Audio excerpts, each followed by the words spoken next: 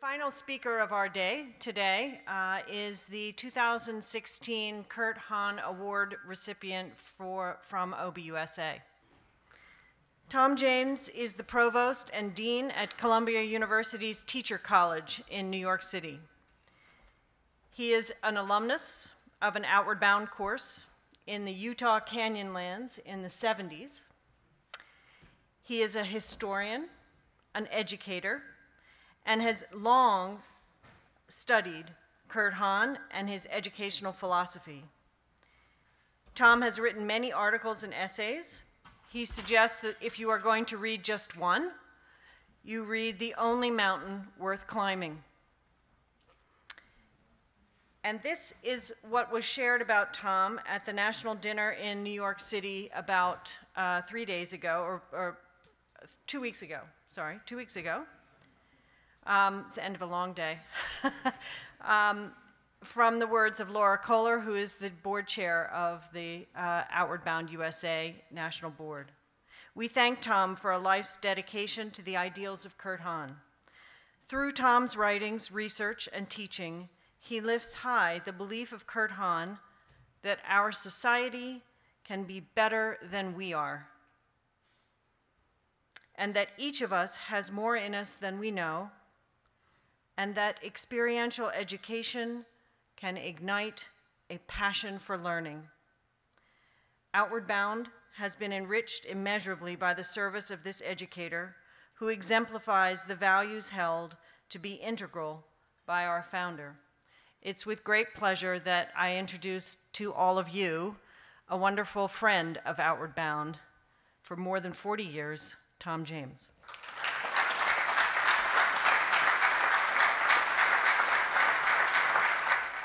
So the only thing standing between you and dinner is me. so I, I, realize you're at the end of the day, and they, they did some disastrous programming by uh, putting an academic at the end of the day. so I understand that. Um, I love being with this group and, and soaking in what you are doing in different parts of the world with Outward Bound. I've, I've watched and learned from Outward Bound over so many years. Um, I've worked with people in the United States, but also visited other places. And I have, um, just thinking about when um, Christina Fitzpatrick was talking earlier about the passion for development and fundraising and you know what it takes to, to really take a team forward. Um, I see that in your work, and I think the part of that that I feel, you know, as a historian and someone who teaches history and philosophy of education, is that there's a very deep power in this work that's a coherent, um, integrated set of values. And we try to define it. We can never come up with a catechism. You know, we can't have three words or five words, but we all know it's there. And it's the mystery that really um, unites us. You know, it's like when they clang that bell um, on the ship, and you know, you know that everybody's moving together. And that's there, and I resonate to that, and I've, i share that with you. Um, when I think about the, the arc of Kurt Hahn's life, you know, Kurt Hahn is out there in history, and as um, Ian was saying this morning, we need to look forward. You know, but when you look forward, um, you're also embodying something. You know, if you want to look forward and think about democracy, um, you're going to need to have a sense of what that has been and what it was or science and the practice of science and the, you know seeking truth and that sort of thing. So I don't think we should go back and create a catechism. I don't think it's necessary for everyone to, you know, become um, you know deeply immersed in the life of Kurt Hahn. But there are pieces of it um, that you're going to come into contact with. Um, there are parts of it that people in this group um, have lived and carried as they heard it from others. And I, as a historian, have studied it and thought about Hahn.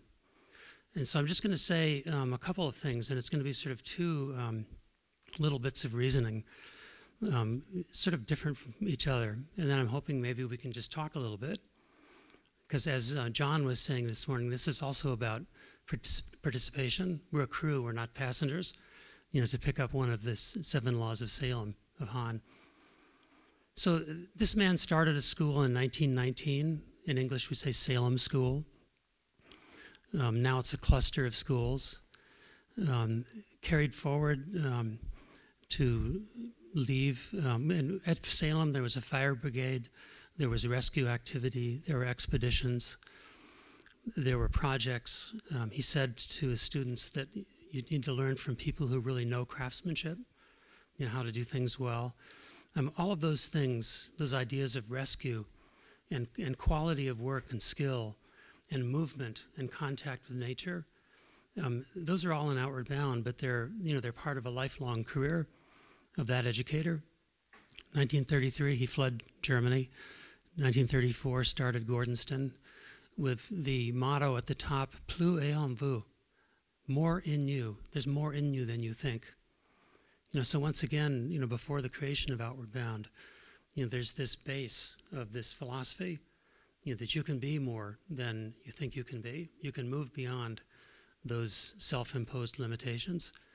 Um, you can do that by traveling into nature with companions and organizing your life as an expedition that's seeking high goals. All of that was there. The county badge scheme in the 1930s, outward bound starting um, at the end of the decade, moving through the 1940s. Um, very, very intense short term courses that Hahn wrote about in the 30s. But Outward Bound began to show that you could do something that's wonderfully concentrated in a short period of time. You know, the, as it began with a, with a tremendous admiration of the life under sail, you know, which was being lost in so many ways in the larger world you know, but the craftsmanship and quality and handiwork and dedication of people working on a team in nature with weather and change and everything that mediates, you know, being in that world. That was kind of the origin story of Outward Bound. I've told it a little bit differently because you tell it around U-boats and things like that, but it was already there. You know, the life and the way of living was already there. Um, moving to the um, formation of the um, United World Colleges, the notion of um, a network of colleges building peace, leaders for peace around the world. You know, really a precursor, I think, of the, the peace building organization we have now. Um, the Duke of Edinburgh Award, the notion that you could um, have a cluster of things that you could do to really become exemplary in fitness and citizenship in a society. So that's, that's kind of a career arc. I'm going to end it, though, with a couple of things about Hahn late in his career, came to the US in the 60s. Um, this might interest people from other countries. Imagine, you know, if the old man visited, visited your school, you know, and came in and looked at it, and, you know, what might he say?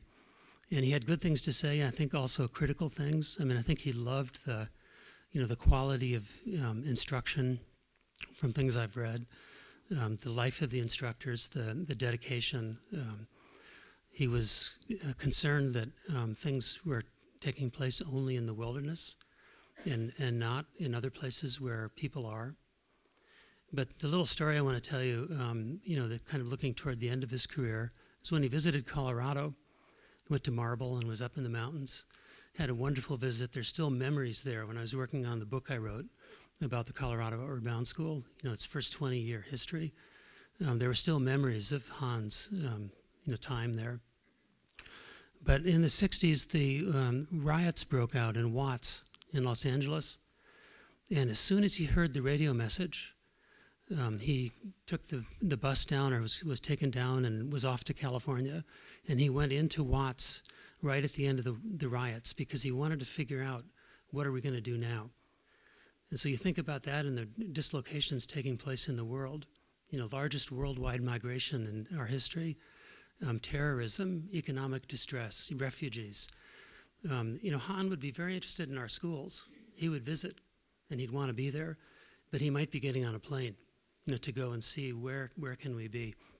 One phrase from that period of his life, it was actually in a memorandum, not in a published article, was, you know, these schools we've created, and this included Gordonstoun and Salem and Outward Bound and all, these are all doing good work and they should continue. But he said what's also needed now is epic labors of love. You know, there is something on an even larger scale that all of us, through our individual contributions in the students we're working with, in the cities, in the wilderness area, we're all part of something larger. And, you know, as people felt in the confrontation with the Third Reich, Um, now it's the confrontation everywhere. You can't you can't center it anywhere. You have to realize that work needs to be done on a larger scale. So that's that's one narrative. The other narrative I want to give you is just, you know, we go down inside ourselves. You go down inside yourself when you think about the work you're doing and why why you're doing this work. Why is it important to you? You know, so let's flip back again in time and, and go back into this this guy Kurt Hahn's life. And there's not enough time to do the whole biography. But he wrote a novel when he was a young man.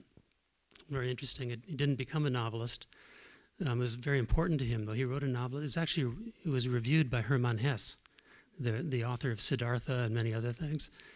And so you think that he might have done something different from become an educator, but he decided to become an educator. Um, and in the in the middle of that novel, novel, is there, you know, maybe he might have thought of that as sort of a juvenile project project later on as he built organizations. But there's a scene in the middle of it where a young man who's sort of a middle school or junior high school student becomes passionate about an idea, something that he thinks is the most important thing he's ever worked on. And he writes an essay about it and he puts everything into it that he can, just everything, and writes this essay.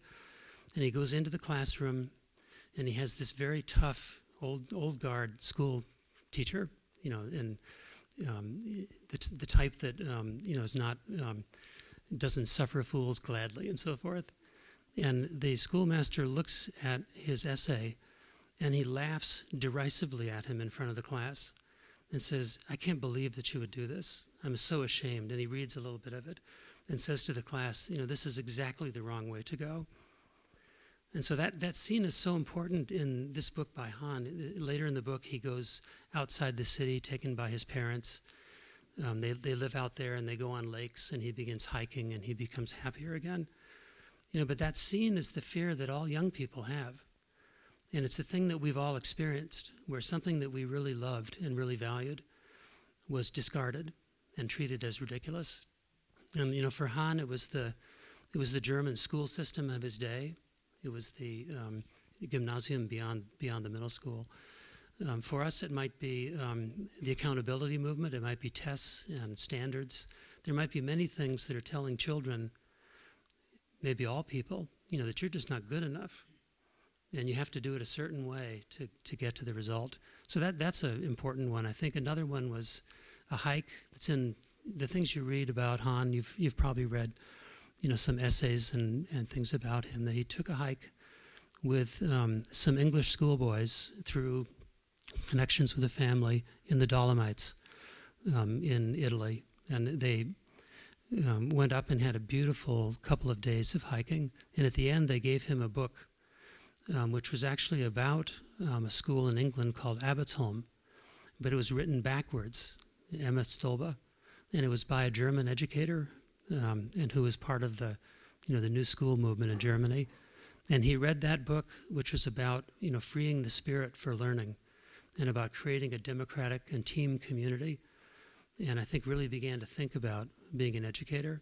So point three from that young Kurt Hahn era is the one that you know, we all hear about. That he had sunstroke, had periods of time where, you know, after a devastating um, exposure to the sun, would um, have to go into darkness for three or four days, sometimes a week, and recover. And there was one particularly deep, um, I say probably moment of depression, where he developed his vision as an educator. And he came out of that writing about that, about Plato, about Goethe, about the freedom of the individual, about nature.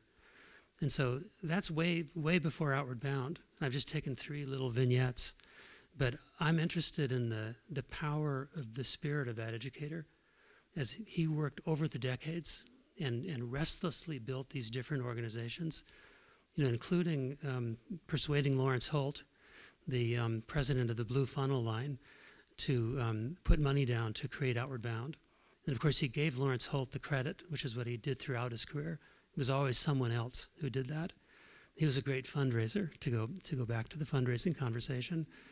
You know, but that I think that spirit was really lo- looking to locate inside the person, you know, what he called the grand passion, the life, the full life that the individual really wants to live, and then channeling that upwards into working with a group and learning to sacrifice for others and, and learning that those demands are part of becoming the great self that you're going to discover. And then at a higher level, learning as you become stronger, as your strength grows, then you engage in higher levels of service and you become more fulfilled. And then you become the citizen that you've always wanted to be, and you will become the fulfilled person you want to be. And along the way, there's craftsmanship, there's fitness, um, there's all the kinds of work that's done in different environments, you know, whatever they may be. But that to me is the essence of this man, and I think it's worth remembering that even if we don't we don't have a catechism, you know, there's not going to be three points we can we can take down.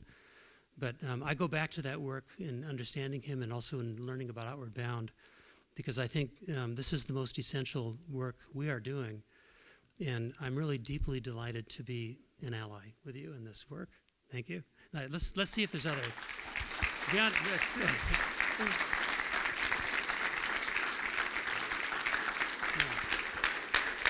Maybe we can get some questions. Do we have time? So, thank you. I, I appreciate that, but I've done something that no one else has done. I've left 10 minutes. Mostly people are going right up to the end, and, and that's because this really can be a conversation. You know, what, what is it that, that we need to find out more? What, what are the kinds of things in terms of our core values that animate us and push us forward? You know, what, what should we be doing to to really make that work um, active, along with everything else we're talking about building organizations, raising money, um, planning, uh, communicating. Those are all very important. But what, what, do we need to do? Yes. Um, may I ask, uh, uh, as I know, uh, Kurt is not very outdoor guys, mm-hmm. and uh, he got a. But what's the reason? As you know, what's the reason bring him to think about bring the young people to go really go out is mm-hmm. is really need to do. I mean, what's the reason, as you know? Mm-hmm. Because he, his personal is not really outdoor person, mm-hmm. as I mm-hmm. know. I, I, mean, read a book. So, do you have any thought about that? I mean, I could answer that in terms of his own childhood and and his life. That uh, growing up in Berlin, his family went to the country, and they went to a place where there were lakes and walks and hikes and during that period of time, um, be, beginning in Germany, there was a movement for young people to go outside, you know, to, to begin expeditioning and camping. So I think he was caught up in that. Um, and I, you know, as a historian, I think this was a time when, you know, the indoor built environment in the late 19th century was really with industrialization and, you know, expansion of cities. People were living indoors much more. And you know, I think that that sense that we have to we have to continue to be engaged with nature because it's fulfilling, because it's unpredictable, and because it teaches us to be joyful. I think that's something that was in Kurt Hahn. I think his parents gave him that, and he, um, you know, when he when he went forward, he tried to figure out ways to expand that and increase that. It's even more true now. I mean, the, the kinds of things that Hahn was talking about um, the need for locomotion, as he said, um, spectatoritis. I mean, these are words out of the, the Hahnian vocabulary. Even more so now, as the built environment has become even more encompassing and technology has intervened to separate people from direct communication. You know, I think those impulses are e- even more important. But I think it was from his childhood. That would be the basic. Um, so I wonder how you would answer that question that came up this midday around diversity mm-hmm. and the importance of diversity for Outward Bound. Um, I'd, I'd be interested to see how you explore or respond to that question. It actually is something that, that Hahn talked about and, and wrote about a little bit. Um, I mean, diversity began with um, socioeconomic diversity, you know, making sure that the and of course, one of the laws of Salem is, is making sure that people are discovering true natural forms of leadership, you know, not, not the order that exists in the world. Um, but Hahn also talked about um, creating, um, this was in the early days of Outward Bound, creating Outward Bound schools on frontiers, on borders, in places where cultures interact. And this is something that Lance Lee, um, who's a you know, outward bounder in the United States that many people know, um, who founded the, the Apprentice Shop in Maine and um, created a worldwide sailing, building wooden boats basically, and bringing people together from societies in conflict um, to sail a wooden boat that they had built. And he's often pointed out that you know that Hahn worked on the on the edges, you know, bet between peoples, and was always attracted to them. It was no accident that he would want to fly to Watts, you know, where where the racial conflict in the U.S. was was erupting. Um, I think another thing about diversity, though, is um, you know the, the the team that works together, um, and this is also true in our workplaces. It's true in our schools. Um, not only is it increasingly diverse, but the the human resources that we have are enhanced by diversity. And so, being able to operate in an environment where you know that you're making full use of the different human potentials, the different passions, the different perspectives you know that's essential and you know that's truly important for outward bound. Um, you know so i think that's something that's natural to hahn. Um, I, I, think he would he would always want to be looking at ways to push outward bound into environments where diversity you know is is, is mandatory where it's really needed um, where it's not just um, you're doing it because you think you're doing a good thing it's really it's essential to the work um, we've talked a lot today about, and we've talked a lot in this community about evaluation and outcomes. Mm-hmm. And my question to you is Was Hahn as strident about evaluation and outcomes on the educational yeah. processes and, and skunk works that he sort of explored and created as we are today? Well, in one sense, he was. I mean, if you look back, um, you know, both at Salem and at Gordonstoun, you know, he created um, unique but powerful report cards, you know, which included things like school subject areas, but they also included what we would now call character um, building traits. Perseverance, you know, would be one. And so, um, and they actually, not only did they, they um, record information about students and talk with the students and their parents, but the students themselves developed what he called a training plan. And training plan was, doesn't mean just going out and doing push-ups. It means how you're how you're developing yourself and how that relates to the you know the goals of the school and and the and this more expanded report card and if you think about um, this is outside outward bound but if you if you go to, to gordonstoun um, there's the path of the silent walk there that goes from the school um, through you know a mile of forest ending up in a small unadorned chapel and so the students there would um, talk with their their teachers about their performance, and they would they would take the silent walk and carry. They would have journals, and they would reflect, and they would carry into their lifetime, you know, some self-evaluation they had done. They would also have to take the tests of you know the state, you know, and that sort of thing. But I think a kind of evaluation was built in that was was very powerful, and it wasn't the same as something like an end of course impression, which we do frequently. It was really more how are you carrying out the plan that you've created for yourself? you know, to be more than you thought you could be. And I, th- I think that's still very important. I would just add, um, we're getting close to seven, but you know, in my day job as a um, you know a provost and a dean of a the largest um, graduate school of education in the United States, largest and oldest. You know, we have 160 faculty, and they're they're studying human development. They're doing evaluation. We have centers, and there's experiential education work there, but many other kinds. And the work of evaluation is really advancing um, rapidly now with much more interesting, you know, sort of deeply grounded ways of understanding um, human performance. I see this in our human development faculty. Um, they're using a theory, for example, called embodied learning, which I'm not going to, this is be very academic, but the notion of how um, the embodied person acts through experience. So it's not just, um, you know, ticking off a box that I learned something, but what am I actually doing through my lived experience? that carries out the learning that I've created, that's pretty close to outward bound. And that's, that's something where you could imagine people coming in and really getting it and not doing something that looks like it's on the outside and separate and, and stupid, basically. So I, I have hope that we're going to be able to do better evaluation. I see my timekeeper here. No, I was just going to take the prerogative of the MC and ask the last question. Oh, yeah. Um, and that is, Tom, if Kurt Hahn was with us today, standing in the back of the room, what do you think he would think about the state of Outward Bound today? Oh, I, I think he'd be very proud. I mean, I, I think he would. Um, he's someone that, that really believed in, um, you know, the d- deep learning of uh, young people and expecting that they really could have transformational learning. And our schools and this group and the people you work with believe that, and they're enacting that. And I think if we had uh, more instructors in the room, you know, we saw the, you know, the, the bar graph there about how people feel about their instructors, it would be even higher.